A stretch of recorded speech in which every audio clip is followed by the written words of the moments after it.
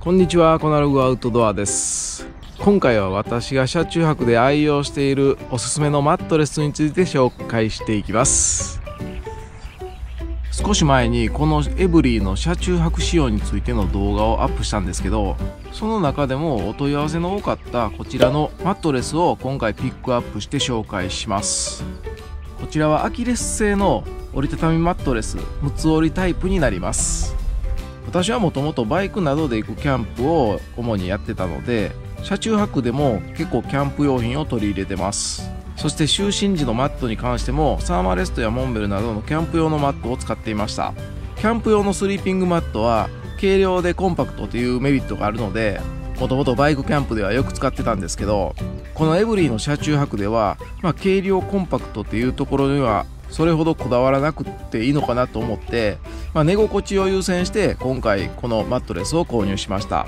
購入してから実際に車中泊で使ってみたんですけどやっぱりキャンプ用のマットレスとはね全然違う快適性がありました、まあ、その辺商品名がマットレスというだけのことはあります。まずはこのアキレスというメーカーなんですけどこのメーカー名は割と耳にしたことがある方が多いと思うんですけど子供の時に履いていたバレーシューズや、まあ、子供用の靴で瞬足というシリーズなんかも有名です。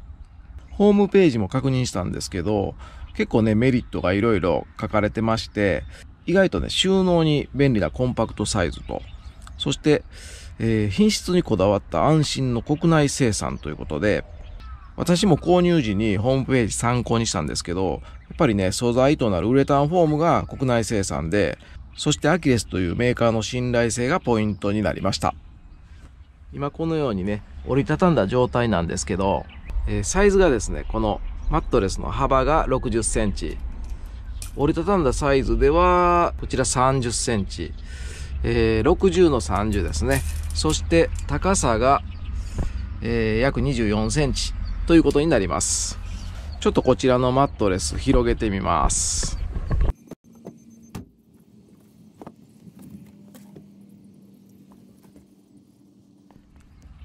広げるだけで簡単に展開できます。こちらのマットレスなんですけども私は Amazon で購入しました。購入時の価格は税込4063円でした。注文した時は在庫がなかったので約1ヶ月ほど待ちました。ただまあアキレスの公式ホームページでも受注生産となってますので在庫切れの場合もしばらく待てば商品の供給は心配なさそうです。タイミングによってはね、ちょっと注文してから待たないといけないこともあると思います。それではこちらのマットレスの特徴と、まあ、実際使ってみてね、思ったメリットを紹介します。私はこのマットレスを購入して3ヶ月ほど経ちます。その間に車中泊で、えー、3、4回ほど使用しています。マットレスとして一番大事なね、クッション性。これが非常にいいです。厚さ4センチというなかなかね、厚みがあるんですけど、メーカーのホームページを見ても、ボーリング玉を乗せても底付きしない硬さがあるということでした。実際にね、こうやって拳でグッと押しても、底付きはしてないですね。え実際にね、寝転がっても座っても、いずれも底付きすることはないです。かといって硬すぎるということもなくて、絶妙なクッション性ですね。寝心地はもちろんいいんですけど、車中泊では座って過ごすことも多いので、座り心地がいいということはすごく重要です。まあ個人差はあると思うんですけど、私的には寝心地も座り心地もめちゃ快適に感じました。こういう細かい段差であれば、この厚みと硬さがあるので、かなり寝転がった時のこの段差の違和感が解消されます。まあ、このようにね、このマットレスの硬さっていうのは車中泊にもたらすメリットは大きいですね。まあ、こちらのね、アキレスのマットレスは、もうこのマットレスという商品として作られているので、まあ当然ながらね、キャンプ用のスリーピングマットとは用途がまた異なってくるっていうのもあるんですけど、それと比べてもね、断然こちらの方が快適ですね。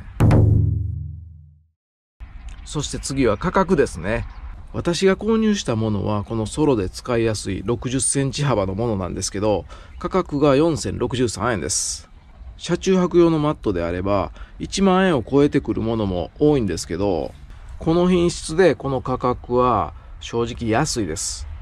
まあ、このリーズナブルな価格も購入の決め手になりました。そしてこちら軽バンのね、ソロの車中泊にジャストサイズです。この展開したマットレスの大きさなんですけど、幅が60センチ、奥行きが180センチということです。この収まりもエブリィにはすごくジャストフィットです。幅が車内の半分ぐらいの大きさなので、こちらのね、片側の座席を起こした状態でも、こうやって広げることができます。2枚並べればね、2人でも広々と過ごすことができそうです。サイズもね、こちらの60センチ以外にも3種類あるので、軽バン以外の車でもね、サイズに合わせて選べます。そしてね、こちらのマットレス、6つ折りタイプなんですけども、これがね、予想以上にコンパクトでした。まあ、ちょっとね、実際に畳んでみます。はい、こんな感じでね、コンパクトに畳むことができます。これもね、マットレスという商品なので、ある程度かさばるかなと思ってたんですけど、実物を見ると意外とコンパクトなので、すごくね、積載もしやすいです。こちらね、サーマレストの Z ライトのレギュラーサイズです。これと比較すると、まあこんな感じですね。こういうキャンプ用のスリーピングマットと比べると、やっぱりかさばりますね。6つ折りタイプはもう角張った形なので、本当に積載しやすいですね。こういう感じで四角いボックスと並べてみてもいいですし、面が平らなので、こちらに重ねることもできますし、この上にちょっとしたものを乗せることもできます。マットでも丸めるタイプのものは案外収納がしにくいので、こういう四角い形だとね、本当に積載もしやすいです。そして次は品質や耐久性にも期待できるというところも大きなメリットです。まだ購入して3、4回しか使ってないので、はっきりとね、耐久性についてはわからないんですけど、まあ誰でも知っているアキレスというメーカーが自信を持って品質にこだわった安心の国内生産と公言しているので品質は素直に信用しています。このウレタンフォームに関しても安物であればすぐにへたってきそうなんですけど、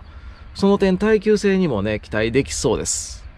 私はまあたまに車中泊で使う程度なんですけど、使用後には干して保管状態も湿気の少ないところに置いておくように気をつけてます。まあそうやって長く使えたらいいなと期待しています。そしてこちらのマットレスなんですけども、結構ね、あの商品レビューを見ていても、匂いがね、非常に臭いというレビューが多数あります。で、まあね、正直この匂いは、あの、実際します。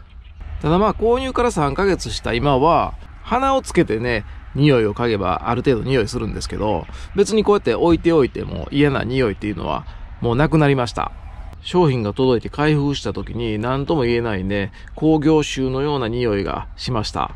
強烈に臭い感じではなく、なんか臭いなっていうぐらいの匂いが続く感じでした。で、開封した日に一晩玄関に置いてたんですけど、朝起きた時に、まあ匂いがね、すごく玄関にこもっていて、ああ、やっぱり臭いなとは思いましたね。そしてもう商品届いて2日目に車中泊で使う予定だったので、それまでは外にね、軽く干してたんですけど、車内に積載した時は少しちょっと匂っていましたね。ただまあね、あの、寝る頃にはちょっと慣れて、購入2日目でも匂いはそれほど気にならずに眠ることはできました。そして購入して3ヶ月経った現在は、先ほども話したんですけども、ほとんど匂いは気になりません。まあ、メーカーの説明にもね、開封直後は稀にウレタンホームの匂いがありますと。え気になる場合は風通しの良いところで陰干しをしてください。徐々に匂いが軽減されます。という風に表記されています。まあもうこのね、匂いに関してはもうウレタンホームの匂いなので仕方がないとは思うので、広げて陰干しをするなど保管しておけば、徐々に匂いは抜けていきます。まあ実際に私も使っていて気になったのは最初だけでしたね。ただまあ匂いの感覚は人それぞれなので、まあそこはご参考までにということでお願いします。あとね、ちょっとね、気になるところが、まあこれ車内で使うマットレスとして、寝る部分に関してはいいんですけど、この中でね、飲食する場合、このマットレスのこのカバーがですね、こんな感じでね、あの、綿のカバーになってますので、飲み物や汁物をこぼしてしまったら、ちょっとね、染みてしまいますね。対策としてはね、もうそういう汁物とかジュースこぼしてしまったら、もうタオルで拭いて、まあ、陰干しして、ファブリーズなどのスプレーを振っておくというような感じでしょうかね。まあその点ね、車内で飲食する場合は注意が必要です。ちなみにね、この中開けてみますね。こんな感じでね、ウレタンチップ、ウレタンフォームが入っています。で、こちらのウレタンフォームが日本製、そしてこのカバー自体は中国製ということです。一応ね、こちらジッパーついてるんですけども、これはね、商品の生産上についているもので、これをね、外さないようにというふうに注意書きがありました。基本的にはもうこのカバーもね、中のウレタンフォームも選択はできないということです。あと、メーカーのホームページも見てたんですけど、このような形にして、えー、ソファーモードとして使うこともできるようです。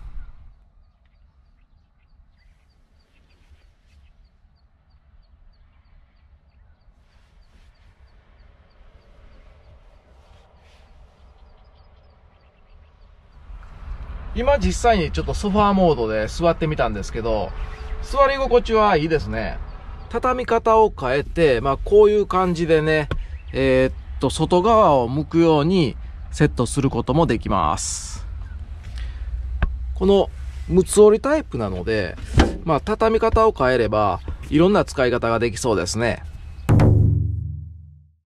まあ私がこの商品に求めていたのは、キャンプ用マットにないクッション性の高さなんですけど、まあ、実際に使ってみてね、期待以上のクッション性の良さで、まあ、メリットもね盛りだくさんということで車中泊専用マットレスといっても過言ではないぐらい車中泊で使いやすいマットレスです。